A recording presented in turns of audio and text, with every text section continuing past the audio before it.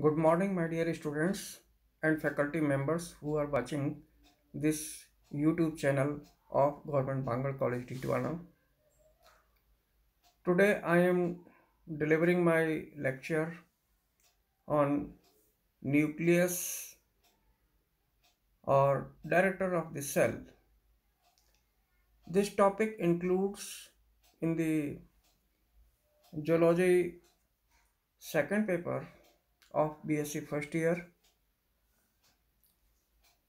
which is affiliated with the Maharshi Dayanand Saraswati Vishwavidyalaya Ajmer. It is an important topic which is also includes in the BSc second year and third year syllabuses and all competitive exams of the national level. प्रिय छात्रों, आज मैं केंद्रक के बारे में आपसे विषय को साझा कर रहा हूँ, जो कि बीएससी फ़र्स्ट ईयर के द्वितीय प्रश्न पत्र जो कि महर्षि दयानंद सरस्वती विश्वविद्यालय अजमेर से संबद्ध है, के विषय पर आपसे चर्चा करूँगा यह विषय न्यूक्लियस जो कि सेल स्ट्रक्चर एंड फ़ंक्शन के अंतर्गत सम्मिलित है, आपने पूर्व में भी लोअर क्लासेस में इसके बारे में काफ़ी कुछ पढ़ा होगा। कुछ विशेष बातें भी मैं आज स्पष्ट करूँगा। तो प्रारंभ करते हैं। न्यूक्लियस को डायरेक्टर ऑफ़ द सेल भी कहते हैं। केंद्र का केंद्र को कोशिका का निर्देशक या मैनेजर भी माना जाता है। सर्वप्रथम इसकी खोज उन्नीस सौ इकतीस में रॉबर्ट ब्राउन ने की थी और इसके अध्ययन को कैरियोलॉजी कहते हैं। Nucleus word, Greek word karyon से बना है। कैरियोन का अर्थ होता है इंग्लिश में न्यूक्लियस, हिंदी में केंद्रक। इसके क्या विलक्षण हैं? न्यू, वो आप समझिए। Nucleus is the largest cell organelle forming 25 percent of the cell volume nucleus cytoplasm का या कोशिका के अंगकों में से सबसे बड़ा बृहद जैविक अंग होता है। ऑर्गेनल और इंक्लूजन्स दो शब्द बहुत इंपॉर्टेंट है जिनको आप समझ लीजिए। इस ऑर्गेनल का तात्पर्य होता है, वो संरचनाएँ जो साइटोप्लाज्म के अंदर जैविक गतिविधि को कंट्रोल करती हैं जैविक होती हैं जिनमें विभाजन हो सकता हो, जिनके अंदर कोई संथेसिस होती हो, संश्लेषण होता है, उनको ऑर्गेनल कहते हैं। और जो सिर्फ़ स्कल्टन का कार्य करते हैं अल्ट्रा स्ट्रक्चर को बनाए रखने में सहयोग प्रदान करते हैं, जैसे माइक्रोट्यूबुल्स माइक्रोफिलामेंट्स सीलिया फ्लेजिला तो ये इंक्लूजन्स कहलाते हैं, अंतस्थ हिंदी में कहते हैं उनको। ये 25 परसेंट हिस्सा सेल के वॉल्यूम का निर्धारित करता है। It is present in all the cells except mature sieves and sieve cells of xylem यह मेमल्स के आर बी सीज में नहीं पाया जाता है। कैमल के आर बी सी में पाया जाता है अपवाद के रूप में ध्यान रखिएगा। मेमल्स के आर बी सीज में नहीं पाया जाता है, वो भी मेच्योर सीज के अंदर। और बॉटनी के अंदर आपने पढ़ा होगा कि प्लांट्स के सीव सेल्स में, जो कि जाइलम की सेल्स होती हैं उनमें यह नहीं पाया जाता। प्रोकैरियोट्स के अंदर nucleus is not covered by a well defined membrane. New, prokaryotes में न्यूक्लियस एक निर्धारित केंद्रक झिल्ली के द्वारा आबद्ध नहीं होता है, घिरा हुआ नहीं होता है, या वेल डिफाइंड न्यूक्लियस नहीं पाया जाता है, जो कि केंद्रक झिल्ली या केंद्रक कला के न होने के कारण माना जाता है। और प्रोकैरियोट्स में इसको प्रोकैरियोन के नाम से जाना जाता है।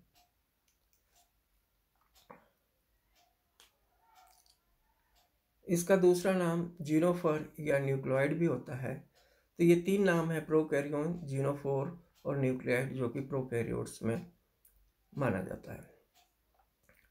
Shape of the nucleus varies like oval disc shaped lobar lobular मतलब लोब के समान इरेगुलर अनियमित प्रकार का हो सकता है ओवल हो सकता है डिस्क के शेप में हो सकता है।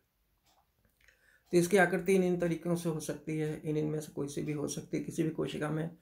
Normally cells contain one nucleus सामान्य रूप से कोशिका के अंदर एक ही केंद्रक पाया जाता है, परंतु their number varies in different cells इसकी संख्या अनेक अलग अलग कोशिकाओं में अलग अलग हो सकती है। जैसे द्वि केंद्र की होता है बाई न्यूक्लिएट होता है इन लिवर सेल्स लिवर की कोशिकाओं के अंदर, ध्यान रखिएगा, केंद्रक की संख्या दो हो सकती है। और कार्टिलेज में भी दो हो सकती है। तो binucleate in liver cells and cartilage polynucleate in osteoblast जो अस्थि कोशिकाएँ होती हैं ऑस्टियोब्लास्ट उनको कहते हैं, जो अस्थि कोशिकाएँ होती हैं, उनमें केंद्र की संरचना मिल सकती है, जिसको सेंसिटियम भी कहते हैं हम। एंड स्केल्टल मसल्स के अंदर भी कई केंद्रक हो सकते हैं। कंकाली पेशियों में। It is formed from endoplasmic reticulum ये जो एंडोप्लाज्मिक रेटिकुलम होती है अंतः जालिका उसके द्वारा केंद्रक झिल्ली का निर्माण होता है और फिर उसके अंदर जेनेटिक मटेरियल भरे रहते हैं, बने भरे रहते हैं मेंटेन रहते हैं। Nucleus is made up of four parts nucleus चार हिस्सों से मिलकर बना हुआ होता है। पहला न्यूक्लियर मेम्ब्रेन जिसको कैरियोथिका भी कहते हैं। या न्यूक्लियोलीमा भी कहते हैं। दूसरा, न्यूक्लियोप्लाज्म, कैरियोप्लाज्म या न्यूक्लियर सेप होता है। तीसरा, क्रोमेटिन नेटवर्क होता है। और चौथा न्यूक्लियस होता है। तीन, चार संरचनाओं से इसके चार घटक हैं, न्यूक्लियस के, केंद्र के, जो कि इसको निर्मित करते हैं। पहला, न्यूक्लियर मेम्ब्रेन क्या होती है? इट इज़ ए परफोरेटेड छिद्रित होता है ये। डबल मेम्ब्रेन स्ट्रक्चर होता है। Linked internally by honeycomb layer. अंदर से ये शहद के छत्ते की तरह से जुड़ा हुआ होता है which strengthen the nuclear membrane जो कि न्यूक्लियर मेम्ब्रेन को संबल प्रदान करता है, मजबूती प्रदान करता है। एंडोप्लाज्मिक रेटिकुलम से जुड़ा हुआ होता है। जो कि बाहर प्लाज्मा मेम्ब्रेन से जुड़ी हुई होती है तो इस प्रकार से न्यूक्लियस को अपनी स्थिति में बनाए रखने के लिए साइटोप्लाज्म में ये संरचना सहायता प्रदान करती है। कौन सी संरचना? जो कि एंडोप्लाज्मिक रेटिकुलम है और उसी से ही डिराइव होकर न्यूक्लियर मेम्ब्रेन बनती है। These pores internally have dense annular pores ये जो पोर्स होते हैं, अंदर की तरफ़ सघन एन्यूल्स या पोर कॉम्प्लेक्स का निर्माण करते हैं, जो कि बास्केट की तरह की नियमित संरचना होती है और इनकी साइज़ और शेप भी नियमित होती है और इनके साइज़, पोर्स का साइज़ जो है, वो भी नियमित निर्धारित रहता है। न्यूक्लियोप्लाज्म क्या होता है? इट इज़ ए ट्रांसपेरेंट पारदर्शी एल्कलाइन एंड सेमी फ्लूड संरचना होती है in which chromatin material and nucleoli are embedded जिसके अंदर क्रोमेटिन मटेरियल और न्यूक्लियोलाई धसे हुए होते हैं। It contains water minerals it contains water इसके अंदर पानी होता है, जल होता है मिनरल्स होते हैं, खनिज लवण होते हैं न्यूक्लियो प्रोटीन्स होते हैं, जो कि facilitates the nucleocytoplasmic traffic through nuclear pores इस, ये जो न्यूक्लियो प्रोटीन्स हैं, ये केंद्र छिद्र के द्वारा साइटोप्लाज्म में आते जाते रहते हैं, अंदर से बाहर बाहर से अंदर। Nucleoids DNA polymerase and RNA polymerase इसके अंदर एंजाइम्स होते हैं। न्यूक्लियोटाइड्स होते हैं इसके अंदर। डीएनए पॉलीमरेज और आरएनए पॉलीमरेज एंजाइम्स इसके अंदर पाए जाते हैं। अब इस डायग्राम में हम आपको न्यूक्लियस के अल्ट्रा स्ट्रक्चर की संरचना बताएँगे। देखिए, सबसे बाहर की तरफ़ ये एंडोप्लाज्मिक रेटिकुलम है। जो कि खुरदरी अंता प्रतिरवी जालिका है, रफ एंडोप्लाज्मिक रेटिकुलम। ये कंटिन्यू करके इसी रफ एंडोप्लाज्मिक रेटिकुलम से केंद्रक की झिल्ली बनती है, ये वाली संरचना। और खास बात यह है कि रफ एंडोप्लाज्मिक रेटिकुलम के ऊपर ये राइबोसोम्स अटैच्ड होते हैं। फिर इसके अंदर की तरफ़ जो स्थान होता है, जिसमें सैप भरा होता है, पदार्थ भरा होता है, इसको न्यूक्लियोप्लाज्म कहते हैं। और इसके अंदर क्रोमेटिन फाइबर्स पाए जाते हैं। ये गोल सी, सघन सी संरचना होती है न्यूक्लियस के अंदर, जिसको केंद्रिका या न्यूक्लियोलस कहते हैं। Nuclear envelope double walled structure होता है, जिसके बीच बीच में ये देखिए छेद हैं। यहाँ पर जहाँ मैं मार्क करके दिखा रहा हूँ, ये छिद्र हैं इसके। इसको कि केंद्रक रंध्र या न्यूक्लियोपोर कहते हैं। इसका ऑक्टागोनल स्ट्रक्चर होता है, जो कि आप अलग से डिटेल में समझाऊँगा। ये पेरी न्यूक्लियर स्पेस है। दो मेम्ब्रेन्स के बीच में जो खाली स्थान होता है, उसको हम कहते हैं perinuclear space. Outer layer होती है, इसके बाद में फिर अंदर की तरफ़ इनर लेयर होती है, मेम्ब्रेन के बाह्य झिल्ली और आंतरिक झिल्ली, इसके ऊपर राइबोसोम्स अटैच्ड होते हैं। ये न्यूक्लियर पोर है और ये कंडेंस्ड क्रोमेटिन इसके अंदर भरा हुआ होता है, जिसको हेट्रोक्रोमेटिन कहते हैं। जो कंडेंस्ड क्रोमेटिन होता है, जो कि केंद्रक झिल्ली के नीचे की ओर स्थित होता है, जिसको कि मैंने अपने पूर्व लेक्चर्स में आपको समझाया है, उसको हेट्रोक्रोमेटिन कहते हैं और जो कम सघन होता है, उसको यूक्रोमेटिन कहते हैं। तो इस तरीके से केंद्र की संरचना है। अब हम बात करते हैं क्रोमेटिन नेटवर्क क्या होता है। क्रोमेटिन नेटवर्क डब्लू फ्लेमिंग ने अठारह में इसको फाइंड आउट किया था और it is differentiated as heterochromatin और यूक्रोमेटिन मैंने इसको पहले भी समझाया हुआ हेट्रोक्रोमेटिन और यूक्रोमेटिन फिर से मैं रिवाइज कर रहा हूँ। ये कंडेंस्ड क्रोमेटिन हेट्रोक्रोमेटिन कहलाता है और डिफ्यूज क्रोमेटिन जो होती है, उसको यूक्रोमेटिन कहते हैं। ये डार्कली स्टैंड होते हैं हेट्रोक्रोमेटिन और यूक्रोमेटिन लाइट स्टैंड होते हैं। मतलब कम वर्णकित होते हैं।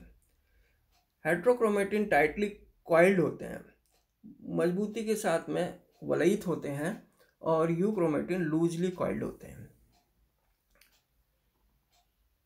जीन्स आर इनएक्टिव होते हैं इसके अंदर। हेट्रोक्रोमेटिन में जीन्स होते हैं निष्क्रिय होते हैं और यूक्रोमेटिन में जीन्स आर एक्टिव हेट्रोक्रोमेटिन के अंदर it replicates late in the S shape S shape के अंदर एस फ़ेज़ के अंदर सॉरी एस फ़ेज़ के अंदर ये रिप्लिकेट होते हैं, पुनरावर्तन होता है इनका इनका विभाजन होता है, नया निर्माण, नव निर्माण होता है।